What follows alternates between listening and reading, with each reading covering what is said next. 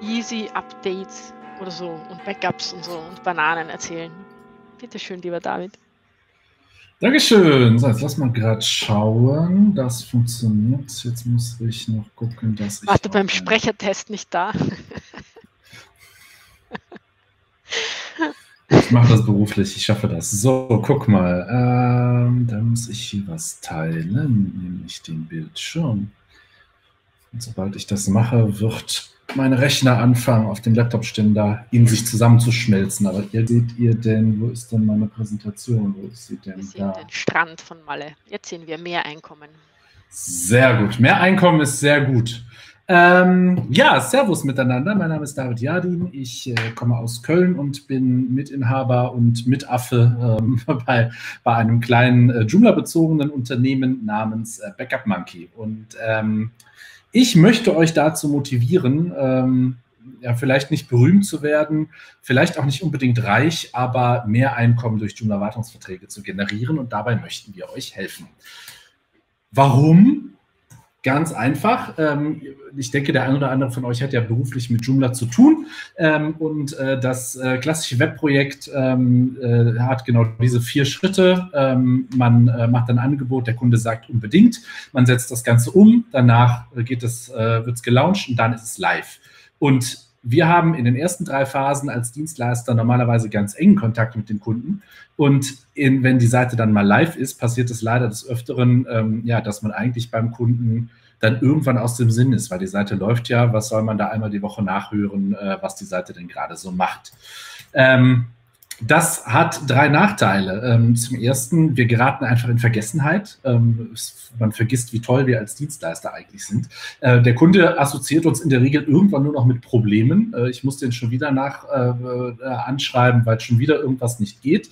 Ähm, und der gemeine Kunde ist ja auch öfter mal der Meinung, ähm, die Seite, die warte ich schon selber, ähm, was er dann ja dann irgendwie dann doch nicht tut, mit dem Ergebnis, dass die Seite veraltet, irgendwann gehackt wird und beim Kunden bleibt dann nicht kleben, oh mein Gott, ich hätte mal besser meine Seite gewartet, sondern oh mein Gott, Joomla ist so doof. Ähm, und das ist kein schönes Ergebnis. Da hilft ein Wartungsvertrag gegen. Ähm, es gibt aber noch äh, weitere Gründe unternehmerischer Natur. Ähm, wenn ihr ähm, ja, als Dienstleister arbeitet, dann verkauft ihr am Ende des Tages eure Zeit.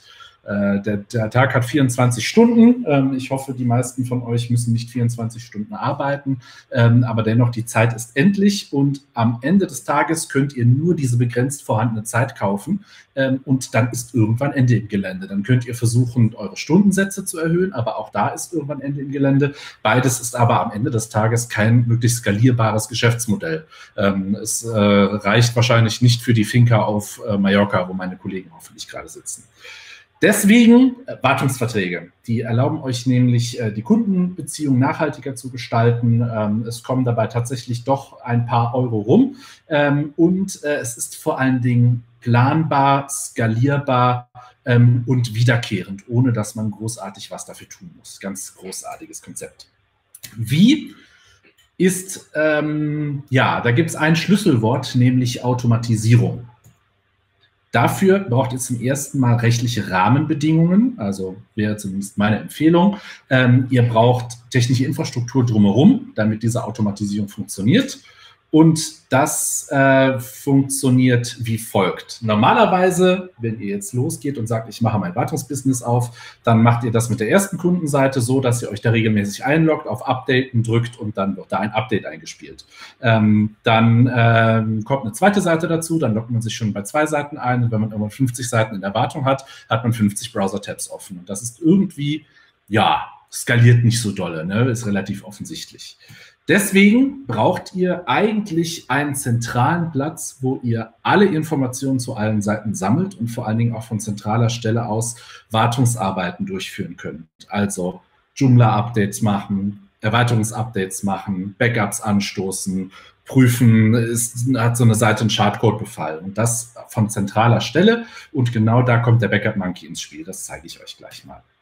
Ähm, der Backup Monkey übernimmt dabei die Themen äh, Core Updates, Extension Updates, Monitoring, die Erstellung von Backups, das Testen von Backups, ähm, wobei dieser Backup-spezifische Part, ähm, keine Sorge, äh, da verlassen wir nicht das bekannte Fahrwasser, denn der läuft mit Akiba Backup. Backup Monkey spricht an der Stelle mit Akiba, ähm, sodass äh, all das, was Akiba kann, ähm, auch mit dem Monkey dann entsprechend abgedeckt werden kann. Was kann der Monkey konkret? Ihr habt ein zentrales Dashboard, wo ihr alle eure Joomla-Seiten reinpacken könnt. Ähm, ihr könnt Core-Updates zentralisiert ausspielen, ihr könnt Extension-Updates zentralisiert ausspielen, ihr könnt Backups erstellen und ihr könnt automatisiert testen, ob diese Backups auch funktionieren. Also kommt da eine installierbare Seite wieder bei raus. Ähm, die Backups lassen sich ähm, automatisiert anhand von so einem Backup-Plan erstellen. Die Tests können automatisiert werden. Ihr könnt Extension-Updates automatisch euer Zutun einspielen lassen. Wir haben ein Feature, das nennt sich Site Audits. Da geht es darum, ähm, ja, so Schadcode-Prüfungen und so Best Practices abzuprüfen. Es gibt eine Funktionalität, um an den Endkunden ähm, einmal im Monat äh, so einen Wartungsreport rauszuballern und wir machen noch Monitoring, ob die Seite da ist und wie schnell sie antwortet. Das zeige ich mal kurz und dann zeige ich euch, wie, dann setze ich quasi meinen anderen Hut auf, nämlich meinen Agenturhut, dann zeige ich euch mal, wie das, wie die Struktur drumherum ist. Ähm, genau, ich habe mich mit äh, meinem Demo-Account äh, beim Backup Monkey eingeloggt. Der Backup Monkey ist ein Software-as-a-Service-Angebot, ein SaaS. Ähm, ihr registriert euch da, könnt dann anfangen, eure Seiten zu verknüpfen. Das Verknüpfen der Seiten funktioniert über ein kleines Tool, das haben wir den Remote Monkey genannt. Und mit dem Remote Monkey, das ist einfach nur eine Joomla-Erweiterung, die installiert ihr in der Seite und ab dem Moment ist der Monkey mit eurer Seite verknüpft. Ihr seht, ich habe aktuell drei Seiten. Eine davon ist aktuell, das ist die Bäckerei Monkey. Wir haben aber auch noch zwei andere Seiten, nämlich den Malermeister Äffchen und den Zoo Musterhausen der Malermeister Äffchen, na, da ist der Joomla Core nicht aktuell, das aktualisieren wir doch mal. Der Backup Monkey Client könnte auch ein Update vertragen und das deutsche Sprachpaket nehmen wir auch noch mit. Und während er hier gemütlich updatet, gucken wir schon mal auf die nächste Seite. Auch da machen wir doch mal die beiden und stupsen gleichzeitig noch ein Backup an. Ihr seht also, ihr habt ein zentrales Panel aus dem heraus ihr dann diese Aufgaben anstoßen könnt. Ähm, es gibt dabei die Möglichkeit, das an, orientiert quasi an einer Seite zu machen, so wie ich es jetzt hier getan habe. Es gibt aber zum Beispiel auch die Option ähm, für eine bestimmte Extension, also zum Beispiel German ja, oder was? Ja, genau, das HTTP-Header-Plugin ähm, wenn das jetzt auf mehreren Seiten installiert wäre, kann ich die hier in der Liste auswählen, kann es seitenweit installieren. Ähm, da gibt es dann äh, verschiedenste Wege, ähm, wie ihr euch da durchklicken könnt. Ähm, weitere Highlights, ich laufe da jetzt ganz schnell durch, weil wir haben ja ein überschaubares Zeitfenster. Ähm, es gibt äh, 30 Tage kostenlos ausprobieren, dann könnt ihr euch das im Detail anschauen. Weitere Features sind ähm, ja die Auflistung der Backups, das Erstellen von Backups direkt aus dem Monkey heraus, das Testen von Backups, wo ihr dann jeweils ein Feedback bekommt, ob dieser Backup-Test denn funktioniert oder nicht es gibt bei den Extensions die Möglichkeit zu sagen, ich möchte, dass diese Extension für diese Seite automatisch aktualisiert wird oder es gibt das gleiche auch noch auf globaler Ebene. Ihr könnt beim Schedule sagen, ich möchte ein Backup für diese Seite stellen, jeden Montag, jeden Dienstag und jeden Samstag mit diesem Backup-Profil um 11.30 Uhr. Oder wenn ihr nicht wollt, dass das jeden Tag der gleiche ist, können wir das auch noch auf Tagesebene machen. Ihr habt die Möglichkeit, im Performance-Bereich zu sehen, wie sich die Antwortzeit der Seite verhält. Ist immer ganz praktisch, wenn der Hoster sagt, ähm, die Seite ist die ganze Zeit gleich schnell, ihr aber den Eindruck habt, naja, wie jeden Abend ist das ein bisschen langsam, dann hat man das hier auch mal messbar und nicht nur fühlbar. Es gibt die Security-Checks, die euch anzeigen, diese Seite hat Suspicious Files, also da könnten Dateien sein, bei denen sich mal ein genauerer Blick lohnt, wie jetzt hier, weil da ein Eval als PHP-Code drin ist, was prinzipiell auf Schadcode hindeuten könnte. Und last but not least habt ihr auch die Möglichkeit zu sagen, ich möchte einmal im Monat ein Report zum, äh, zu dieser Seite äh, an meinen Kunden schicken, wo dann ein Wartungsbericht steht. Ist also sehr spezifisch auf diese Wartungsaufgaben ausgelegt und versucht, ähm, ja, genau diesen Teil sehr elegant, sehr schlank und sehr sexy zu lösen, ohne dass noch tausend andere Sachen dazukommen. So würde ich das jetzt mal ganz schnell zusammenfassen. Das war der glitzekleine Werbeblock und dann springen wir mal zurück in meine Slides. Wo springt er denn jetzt wieder hin, wenn ich das mache? Ah, genau dahin, wo ich will. Ähm, wenn ihr den Monkey habt oder wenn es denn unbedingt sein muss, auch ein anderes Wartungstool, braucht ihr in meinen Augen ähm, ja so eine Handvoll Elemente, damit so ein Wartungssetup Sinn macht. Ähm, das erste ist, das war eben mal ganz kurz, die rechtlichen Rahmenbedingungen. Meine Empfehlung wäre tatsächlich, äh, legt euch ein kleines Vertragswerk für die Wartung zu, ähm, in dem ihr reinschreibt, was in der Wartung enthalten ist, was nicht, wo Mitwirkungspflichten vom Kunden sind. Ähm, gerade bei Wartung ist auch das Thema äh, Verfügbarkeit, Reaktionszeiten etc. pp. ganz spannend. Ähm, das kann der Anwalt eures Vertrauens machen. Das kann aber auch äh, der Partner vom Backup Monkey machen, den ich euch äh, hiermit weinstens ans Herz lege. Das ist die Firma Easy Contracts. Ähm, der äh, Ronald, der das Ganze betreut, hält hier, glaube ich, auch morgen einen Vortrag. Ähm, da gibt es äh, Standardvertragswerke speziell für Webbuden. Also ähm, AGBs in dem Bereich äh, Wartungsverträge etc. pp. Dann ist ein weiteres Element Easy rechtssicher. Da kommen wir, ähm, das ist ein Dienst. Ich weiß gar nicht, komme ich da noch zu? Ich meine schon. Nee, okay. Easy rechtssicher ist ein Dienst, ähm, wo ihr sagen könnt, ich äh, habe einen Kunden, das ist die Bäckerei Monkey. Die Bäckerei Monkey ist eine GmbH, der Geschäftsführer ist der und der, das ist die Steuernummer ähm, und da ist Google Analytics drin und Vimeo oder sowas. Und anhand von so einem, ja, so einem Wizard, so einem Fragebogen, erfasst ihr die Eckdaten dieser Seite und raus fällt recht sicher ein Impressum und ein Datenschutztext für genau diese Seite. Und, das ist das Charmante dran, dieser Text aktualisiert sich laufend und automatisch anhand der jeweils aktuellen Rechtslage. Und was wir in unserem äh, Wartungsverträgen, wir ist dann in dem Fall Agentur David, nicht mehr Backup Monkey David, ähm, wir bieten das als einen Baustein in der Wartung an. Dass wir sagen, lieber Kunde, technische Wartung kostet Summe X. Und wenn du auch noch von uns den rechtssicheren Impressum- und Datenschutzservice haben willst, dann legst du noch mal was oben drauf. Dann braucht ihr das eigentliche Tool für die Automatisierung der, der Updates. Das ist der Backup Monkey. Und ähm, das ist noch hier unten. Ich glaube, da kommen wir gleich nochmal ganz kurz zu. Wir gucken mal. Genau. Ähm, wir ähm, nehmen Akiba Backup fürs Erstellen der Backups und es ist immer die Gretchenfrage, wo speichert man diese Backups denn?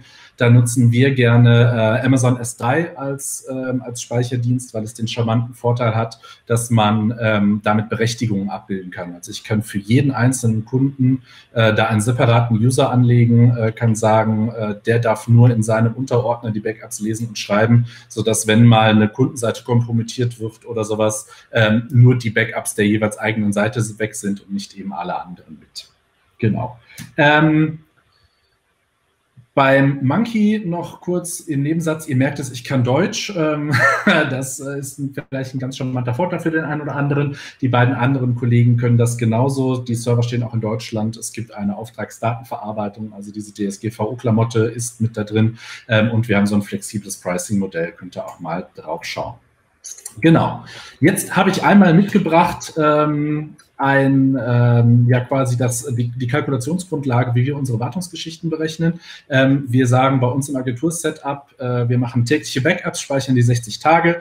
Ähm, wir machen deine Core- und Extension-Updates. Extension-Updates unter der Voraussetzung, dass sie den Joomla-Updater unterstützen, also per Hand runterladen und hochladen. Klar, da geht die Kalkulation nicht mehr auf.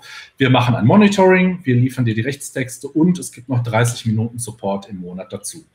Warum 30 Minuten Support? Ähm, zum ersten, äh, ihr, ihr, kennt das wahrscheinlich selber, wenn so ein Kunde anfragt für so eine 5-Minuten-Änderung und man muss dann wirklich diese 5 Minuten als Rechnung abrechnen, dann ist der Aufwand fürs Abrechnen höher als das, was man an den 5 Minuten verdient. Ähm, und deswegen erschlagen wir das mit so einer Pauschale. Die ist bei uns so kalkuliert, das sieht man auch gleich, dass die nicht ganz kostendeckend ist, weil wir die Erfahrung gemacht haben, dass äh, die Kunden das nicht voll ausnutzen. Wir machen also so eine Nicht-Kalkulation. Genau, dann gibt es eine Ladung Fixkosten. Äh, das Easy rechtssicher bei 25 äh, Wartungskunden kostet pro Kunde 2 Euro. Der Monkey ähm, landet bei 1,52 im Monat. Akiba Backup, ähm, wenn wir da die Pro-Lizenz brauchen, was wir brauchen, sind es 20 Cent pro Seite. Und äh, der Backup Storage bei Amazon ähm, ist tatsächlich äh, spottbillig. Wir als Agentur belegen aktuell, lasst mich nicht lügen, ich glaube etwa 25 Terabyte ähm, und äh, bezahlen einen gerade so dreistelligen Eurobetrag im Monat. Also ist bezahlbar. Genau, dann landen wir bei 3,75 an Fixkosten. Und dann kommt der, die Mischkalkulation vom Support dazu. Ähm, da sind wir mal von 15 Minuten ausgegangen. Ähm, bei 80 Euro Stundensatz sind das nochmal 20 Euro im Monat, also 23,75 Kosten. Wenn man den ganzen Spaß für 45 Euro anbietet, und das ist unserer Erfahrung nach ein ganz realistisches Pricing, bleiben etwas über 20 Euro Marge pro Kunde pro Monat übrig. Und das ist für 20 Kunden, 25 Kunden schon mal ganz, eine ganz brauchbare Summe. Ähm, und äh, offensichtlich, je mehr Kunden das werden, desto gut. Ähm, ja, natürlich, der Aufwand wächst mit, aber bei weitem nicht so stark, wie es sonst einfach im Ich verkaufe meine Zeit Projektgeschäft wäre. Wie verkauft man das Ganze? Ähm, wir versuchen es äh, dadurch zu erklären, dass wir erstens den wirtschaftlichen Vorteil deutlich machen. Also, lieber Kunde, wenn du dich da immer selber hinsetzt und auf Updaten drückst, dann kostet das deine Arbeitszeit und die ist teurer als unser Vertrag. Zum Zweiten, wenn dir die Seite mal auf die Füße fällt, ähm, also gehackt wird und du hast, was weiß ich, bist vier Tage offline, deswegen dir fehlen wichtige Daten, du musst die Seite neu installieren, dann geht es einfach ins Geld, da sind wir günstiger. Ähm, wir versuchen genau zu erklären, was Wartung eigentlich bedeutet, warum das so wichtig ist, insbesondere Updates extrem zeitnah einzuspielen, weil sonst versteht das keiner. Ähm, und äh, wir stolpern immer wieder über einen Mythos, nämlich meine Website ist so klein, die hackt doch sowieso niemand. Ähm, das braucht immer die Erklärung, dass Seiten nicht angegriffen werden, weil es spezifisch um die Seite geht, sondern dass einfach der Webspace das Interessante ist. Das ist den meisten Kunden so in der Form nicht klar und die Erklärung hilft an der Stelle. Genau, und das ist noch so ein Spezialding, spätestens da dämmert es den meisten Kunden, dass das selber nicht realistisch ist. Wenn ein kritisches Joomla-Update veröffentlicht wird, also kritisch im Sinne von sicherheitskritisch, wissen wir aus der Erfahrung, dass zwischen acht und zehn Stunden nach Veröffentlichung des Updates die ersten automatisierten Angriffe kommen. Das heißt, der Kunde muss sich fragen, schaffe ich es zuverlässig, in diesem Zeitfenster auf jeden Fall alle meine Seiten zu aktualisieren? Und die Antwort ist in der Regel nein. Und dann ist klar, ab dem Moment habe ich das Risiko, gehackt zu werden. Und wir als Agentur, wir machen ja nichts anderes jeden Tag. Wir schaffen das auch in diesem Zeitfenster. Genau, daraus resultiert dann, dass die Seite auch rechtssicher betrieben werden kann, sowohl was Impressum und Datenschutz angeht, als auch die Haftung äh, für dieses Update und äh, Seite ordentlich betreiben Thema. Das war der ganz schnelle, schnelle Schnelldurchlauf. Ähm, ich glaube, ich habe jetzt noch ungefähr sieben Minuten für Fragen, wenn es denn welche gibt. Ähm, oder wenn jemand einen Wunsch hat, nochmal ein Feature etwas genauer zu sehen, dann könnt ihr das tun. Äh, stellt euch in die Schlange oder kommt nach vorn. Alternativ dazu ähm, bin ich auch äh, wahrscheinlich, ja, also in den nächsten Tagen sowieso da und gleich auch nochmal vorne am Stand. Ähm, dann äh, könnt ihr auch da gerne nochmal persönlich Fragen stellen. Es, es wäre, Martina wäre jetzt eine Zeit lang auf der Bühne gestanden. Ähm, falls sie nochmal eine Frage äußern will, dann könnte sie ja nochmal kommen. Ich weiß nicht, sie hat jetzt vorhin sich nicht irgendwie weiter geäußert. Ah, da kommen, kommt. Guido. Nico. Oh, bin ich online, ja? Hört man mich? Ja, du bist im Internet. Willkommen. Ja, hallo. Moment mal, lass mal erst den ja, war zuerst hier. So, jetzt habe ich den Ton aus. Gut, äh, ihr hört mich noch sehr schön. Ja, äh, äh folgende Frage. Ähm, ich habe gesehen, dass du äh, für deine Kunden bei Sie rechtssicher die ähm, Accounts anlegst, aber jetzt höre ich dich natürlich nicht mehr, wenn ich das so mache. Ähm, die äh, Accounts anlegst, aber jetzt höre ich dich Doch, du, ich, du hörst mich trotzdem. Du hörst mich ja über unser Jitsi. Die äh, Accounts anlegst, aber jetzt höre ich dich Doch, so, ja, gehe ich mal von aus. Genau so. Ähm, und das Problem an der, äh, die Frage an der Stelle ist, wie bist du abgesichert im Punkto, ähm, wer gibt die Daten ein für den Kunden, für das Impressum und für ja. den Datenschutz? Wir geben die Daten für den Kunden ein. Wir haben aber in dem Wartungsvertrag eine Klausel, dass der Kunde dafür verantwortlich ist, an der Stelle relevante Änderungen an uns zu melden. Also insbesondere im Impressum natürlich Geschäftsführerwechsel, Adressänderungen, neue Telefonnummern, E-Mail-Adressen. Ähm, und was das Datenschutzthema angeht, ähm, gibt es da einen Passus drin, dass dafür relevante Änderungen ebenfalls zu melden sind. Also wir versuchen das über so einen Passus abzubilden. In der Praxis, mir ist das schon klar, ähm, wenn der Kunde selber auf die Idee kommt, mal stillschweigend irgendwo ein YouTube-Video einzubinden, da wird er wahrscheinlich nicht dran denken. Ist mir bewusst. Ähm, aber ja, ich glaube, das fällt so in die Kategorie Edge Case. Da müssen wir dann leider durch. Okay, also ich, aus der Erfahrung heraus haben wir damals entschieden, dass der Kunde eben bestimmte Sachen nicht selbstständig machen kann und entsprechend nur Inhalte anpassen darf. Mhm. Für technische Erweiterungen im Prinzip auf uns zurückkommen muss. Dafür gibt es äh, eben diesen Rahmen an äh, kostenlosen Support, bei dem wir diese Sachen dann für ihn machen, weil er sie ja nicht machen darf. Ja, aber selbst inhaltliche Änderung kann ja heißen, ich bette jetzt mal ein YouTube-Embed ein. Ne? Und das wäre ja eigentlich schon, je nachdem, wie du das gerade auslegst, ist das ja schon rechtlich relevant. Kann man im JC unterbinden. Außerdem haben wir ja äh, ähm, Dings drauf, ähm, User Centrics würde ja automatisch blockieren. Müsste dann sowieso auf uns zukommen. Auch eine schöne Lösung. Ja. okay, danke. Dann haben wir noch, äh, machen wir jetzt Martina, die war schon vorher so lange da. Danach dann Dankeschön. Ja, ähm, indirekt, glaube ich, hat sich die Frage schon beantwortet. Also meine Frage ist halt eben, ähm, welche Daten werden von Backup Monkey von meinen Kunden gesammelt? Ähm, wenn ich, äh, das weil es wird ja irgendwo serverseitig, muss es ja gemanagt werden. Und muss ich die Nutzung von Backup Monkey mit meinem Kunden irgendwie datenschutzrechtlich äh, nochmal separat vereinbaren?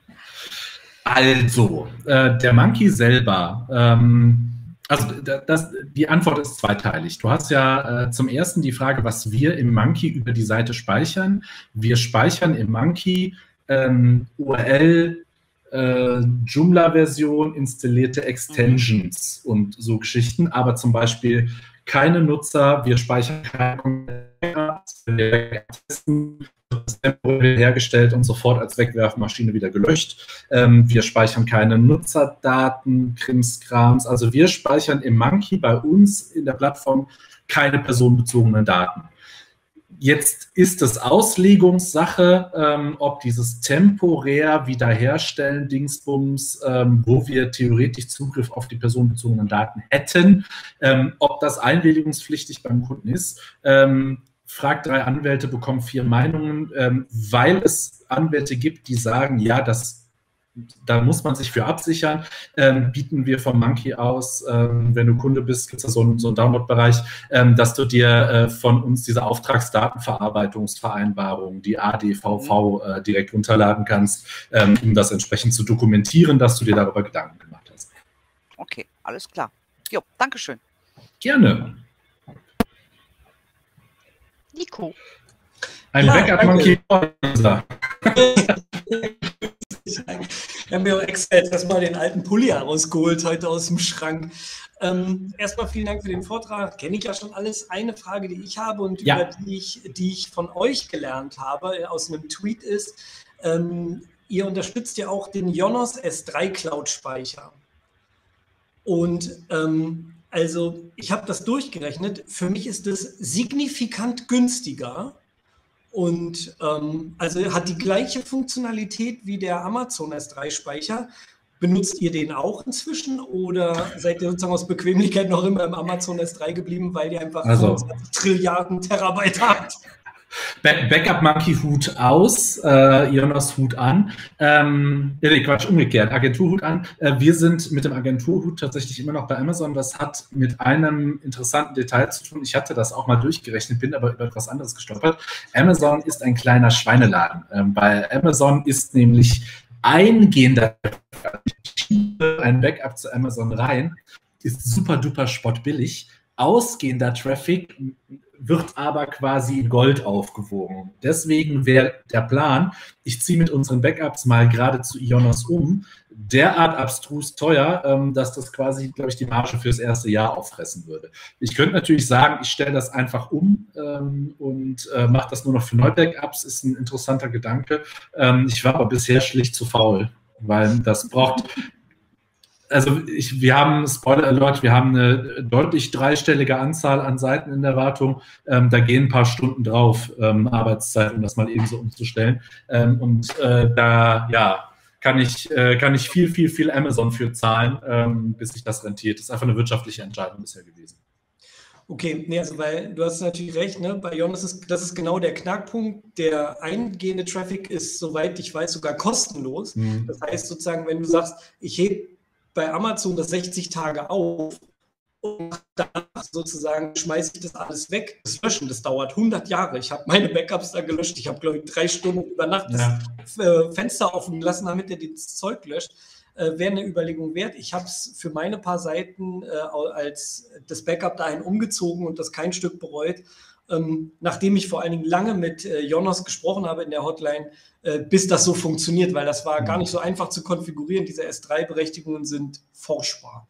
Hm. Gut, okay. Nee, das, das war eigentlich nur meine Frage, ob ihr da das selber auch noch macht oder ob ihr das benutzt. So und deshalb ähm, danke für die Antwort. Sehr gerne. Gut, dann, wenn da jetzt niemand mehr steht auf der Bühne, schönen Dank, David. Äh, Nochmal einen Applaus lass, für David.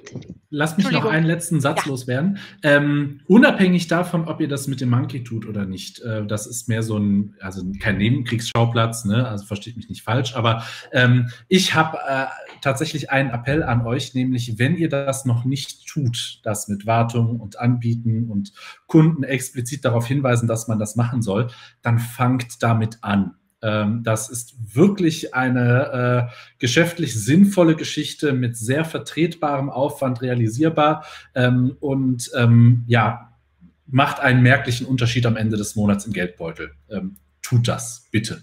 Ja. Absolut. Also jetzt aber Applaus für David. Dankeschön. Gerne.